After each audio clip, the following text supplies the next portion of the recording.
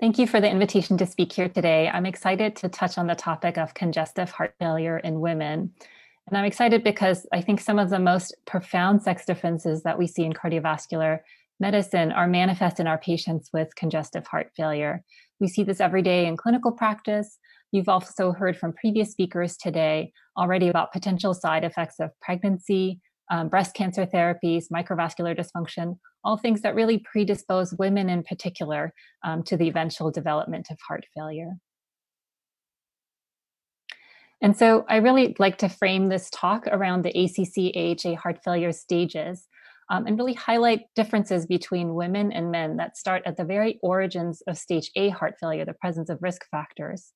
Uh, differences that remain pervasive as patients progress to stage B or asymptomatic structural heart disease and onto clinically overt symptomatic stage C heart failure and ultimately end stage heart failure or stage D.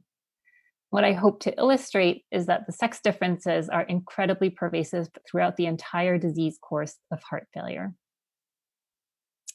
So, to set the stage, we know that the lifetime risk of heart failure is similar in men and women. One in five people across the globe will develop heart failure at some point in their lives. Uh, we also know that the prevalence is similar among men and women. Overall, women with heart failure tend to have slightly better clinical outcomes. On the right, you can see data from the Optimize HF registry, which was a US based registry of over 26,000 individuals. You can see that women at one year had a slightly lower mortality rate with a hazard ratio of 0.93. And these estimates have really been uh, replicated globally um, across other international studies. Recall that when we look at overall heart failure, it's important to look at subtypes. We know about half of patients with overall heart failure have preserved rather than reduced ejection fraction heart failure. And I think it's when we consider these heart failure subtypes where sex differences really become quite apparent. So, for example, um, in a study of patients from the Framingham Heart Study um, and the hospital based effect registry, we found that at first heart failure presentation, walking in the door of the hospital, women have a nearly threefold higher odds of having HFpEF compared with men. This is mirrored by data from the ADHERE registry, where women outnumber men two to one in the number of HFpEF hospitalizations. This is uh, showing similar data, um, again, a different way from the Euro Heart Failure Survey. You can see they plotted um, LV ejection fraction across the x axis. Um, and you can see that uh, for um, all comers with heart failure, men plotted in the dark gray had on average a lower ejection fraction compared with women plotted in the light gray. And in fact, more than half of men had an LVEF grade at less than 40%, whereas only a third of women had uh, ejection fractions that qualified them um, as HFrEF. Now, um, we know that uh, men have a greater incidence of HFrEF, and by contrast, women have a greater prevalence of HFpEF. It's also important to recognize that for HFpEF, uh, there exist no current medical therapies that have been shown to benefit patients with respect to clinical outcomes. And so I would say that, in particular, for our women with heart failure, there's a greater therapeutic gap where we don't know how to treat the majority of women with heart failure. Um, now, these differences in heart failure make you wonder whether risk factor profiles in women are very different compared with men. Um, and the answer is they are. Um, so I've summarized clinical features of women and men at their first heart failure presentation across multiple cohorts. Women with heart failure on average were older, um, had more hypertension, but less ischemic heart disease. Women and men had similar rates of diabetes as well as obesity. Now, beyond the imbalances in comorbidities we just reviewed, there are really interesting differential responses to a given risk factor um, that are worth going into. These are data showing the hazard ratio for heart failure um, that is sex stratified for women and men um, in the middle column. Um, next to it, you can see the prevalence of a given risk factor. Um, and on the most right hand column, you can see the population attributable risk. This tells you essentially the proportion of heart failure cases that could theoretically be eliminated if you could adequately address a given risk factor. And so you can see here, for example, that hypertension portends a more than threefold increased hazard for future heart failure among women, compared with only a twofold hazard among men. When we take into account the high prevalence, we end up with a population attributable risk um, for hypertension of 59% in women and only 39% in men. We see similar uh, signals for diabetes, where diabetes has a nearly fourfold increased hazard for future heart failure among women compared with a less than twofold hazard in men. When we take into account prevalence, we again end up with a population attributable risk that is double um, that in women compared with men for diabetes in relation to heart failure development. And then we see the converse for myocardial infarction. MI, it turns out, confers a similar hazard among women and men for future risk of heart failure. And yet, because it's more prevalent in, in men, we see a population attributable risk in men that is 34%, compared with only 13% in women. Now, why do we see these disparate findings of cardiovascular risk factors and heart failure risk? Well, it turns out that the type of LV remodeling we see, for example, in states of pressure overload, is different in men compared with women. For example, among individuals with hypertension, women have a much greater odds of having concentric LVH without chamber enlargement compared with men that tend to have more eccentric hypertrophy. We see similar findings in aortic stenosis, another pressure overload state. These are data from an, an older um, aortic stenosis valvuloplasty registry. And you can see that for the same level of valve area um, ascertained by cardiac catheterization, women had a higher relative wall thickness um, and greater prevalence of LVH. 80% of women here in this study had LVH compared with only 50% of men at the same given valve area. These findings are actually recapitulated in animal studies of aortic banding, where male rats show an early transition to heart failure, heart failure with LV dilation and elevated wall stress. By contrast, female rats have greater prevalence of uh, or greater development of concentric LVH and preserved contractile function. Sex differences in LV remodeling are not just unique to states of pressure overload. We also see this in diabetes and aging. Uh, these are beautiful data um, uh, worked on by Wolfgang Lieb in the Framingham Heart Study, um, tracking really the uh, course of LV mass over about 16 years spanning adult life. You can see that women have a greater and steeper increase in LV mass with increasing age. He also found that increases in LV mass were particularly steep among women with diabetes, uh, where um, uh, increases were nearly threefold um, higher than in women without diabetes and certainly higher than in men. Concomitant with this increase in concentric LVH with aging and diabetes, we also see increases in LV stiffness, um, these are data from Olmsted County of patients or participants who underwent echocardiography separated by about four years. And you can see that over time, both men and women develop increases in LV end systolic and end diastolic elastance. And yet women had much greater increases in end diastolic elastance compared with men, whereas end systolic elastance was similar. Lastly, we recently also showed that obesity seems to have a differential effect in heart failure development among women compared with men. Uh, this was a study where we were able to pool longitudinal community, community-based cohorts across four large studies um, and studied over 22,000 individuals.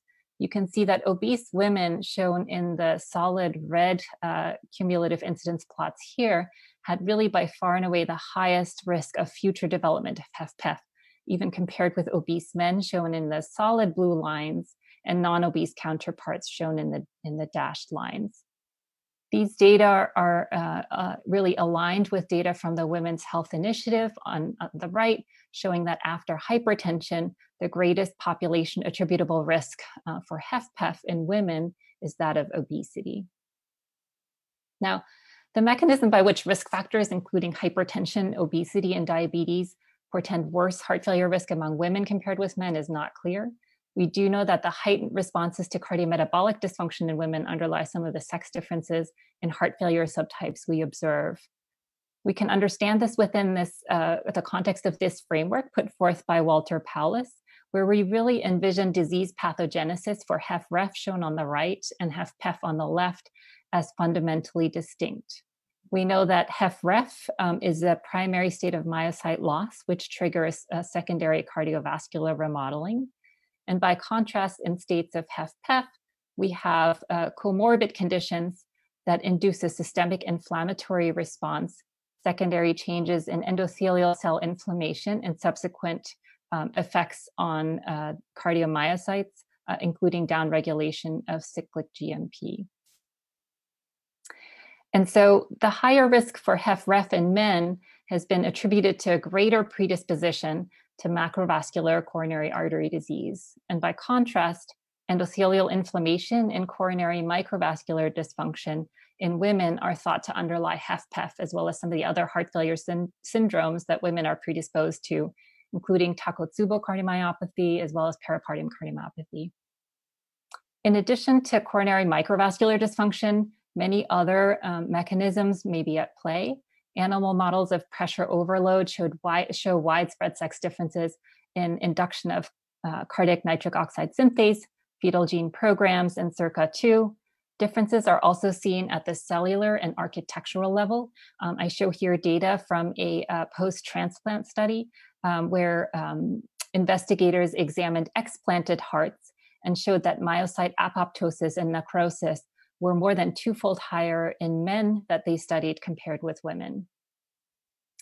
In addition to differences in cardiac remodeling, uh, we also know that extracardiac uh, uh, uh, factors play a huge role. We know that women in general have worse arterial stiffness compared with men, which predisposes them to age associated ventricular arterial uncoupling as a setup to heart failure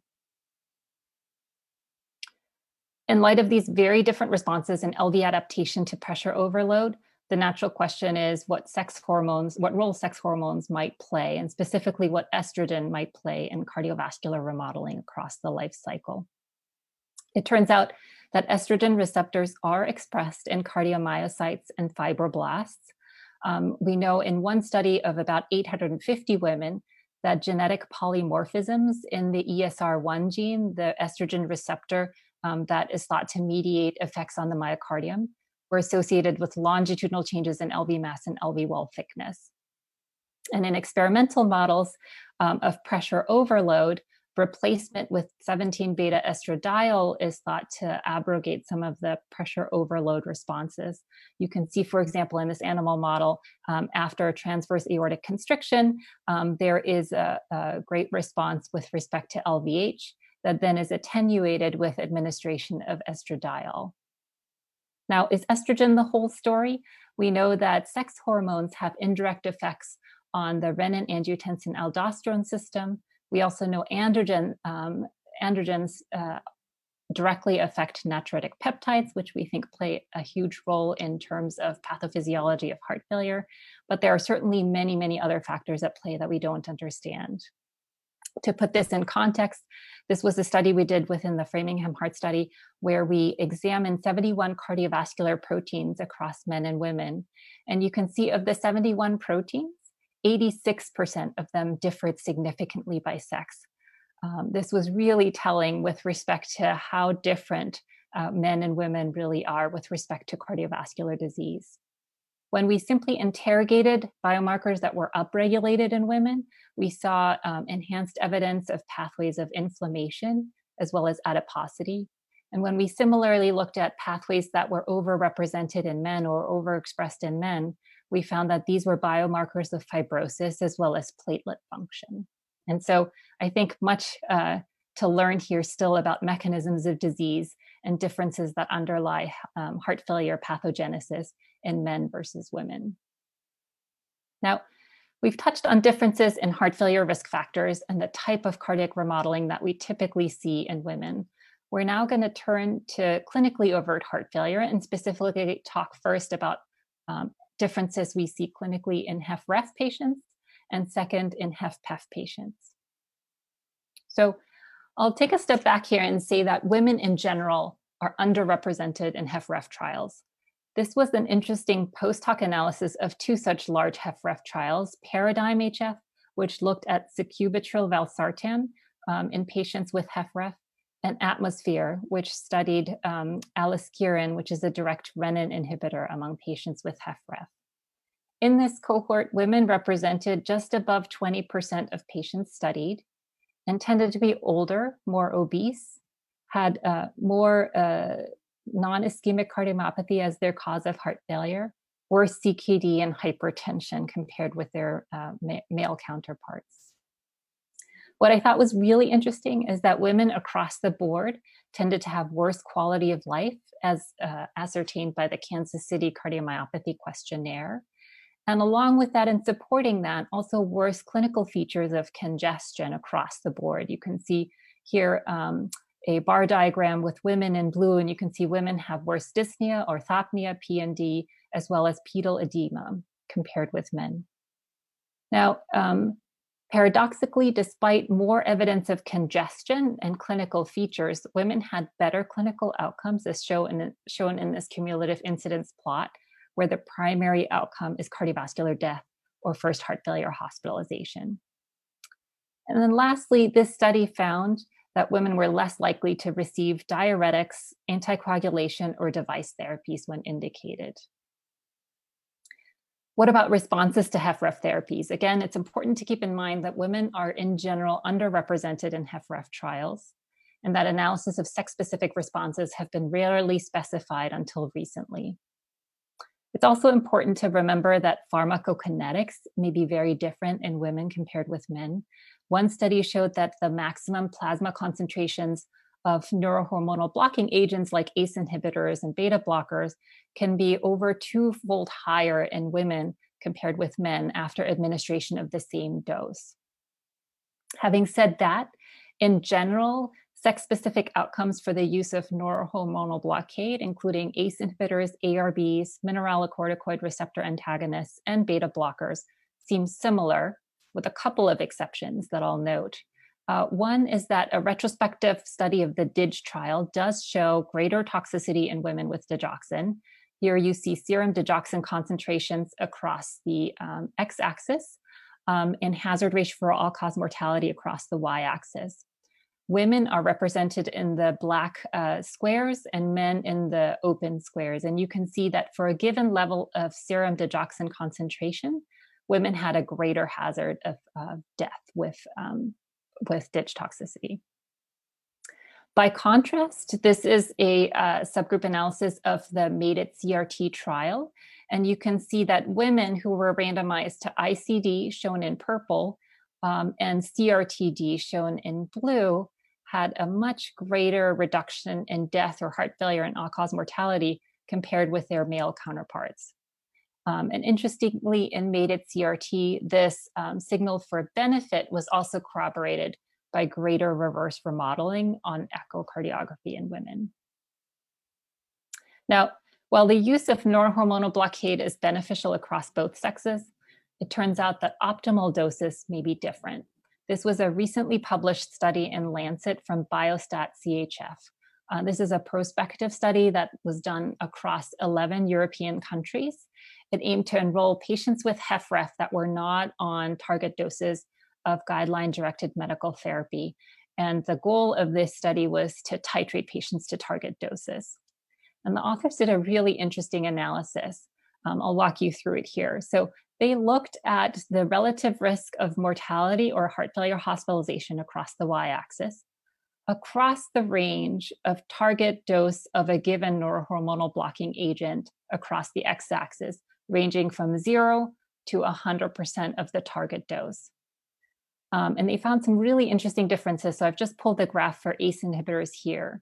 You can see that um, men had the lowest hazard of the primary endpoint at 100% of the target dose of ACE inhibition.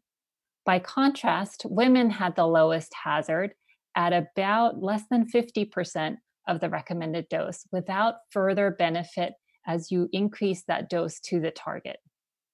There were similar findings uh, for beta blockers um, again, where uh, men really had a continual decrease in hazard as you titrate up their dose, compared with women that tended to have more U shaped or a J shaped hazard, with the lowest risk around about 50% uh, percent of the dose of the recommended dose without further benefit um, with further up titration.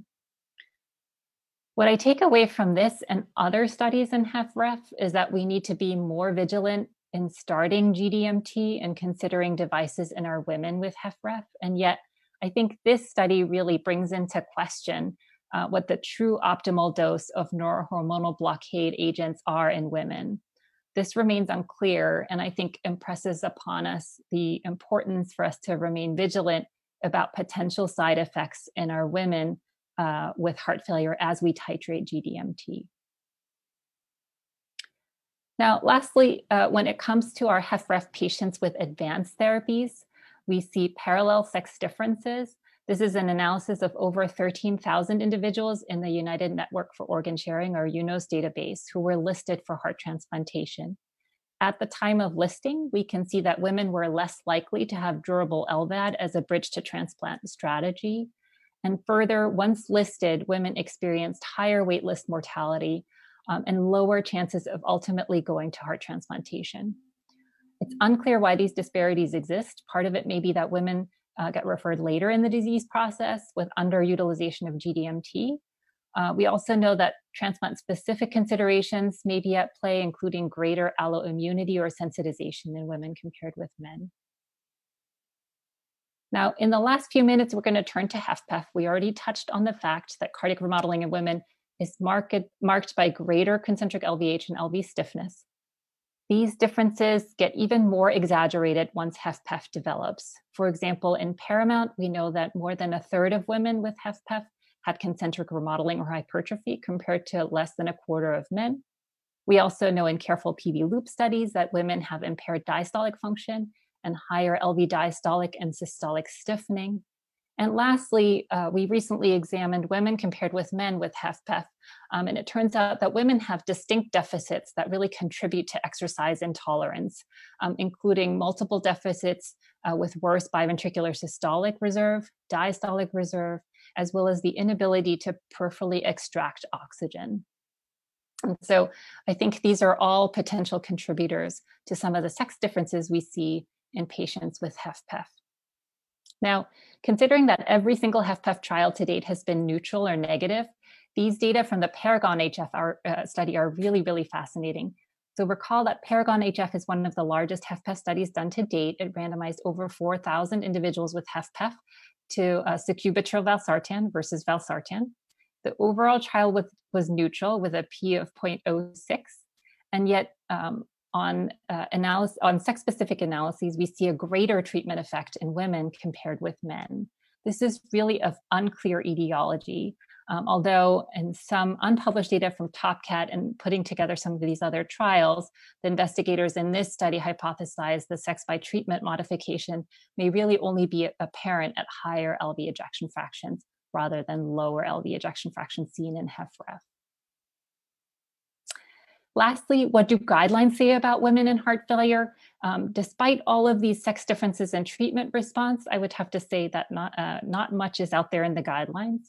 The HFSA 2010 guidelines did address women as a separate section, um, but essentially recommended similar neurohormonal blockade and approaches to GDMT and uh, newer guidelines, including the ACC/AHA HFSA updates in 2017, as well as ESC in 2016, had no specific recommendations in women.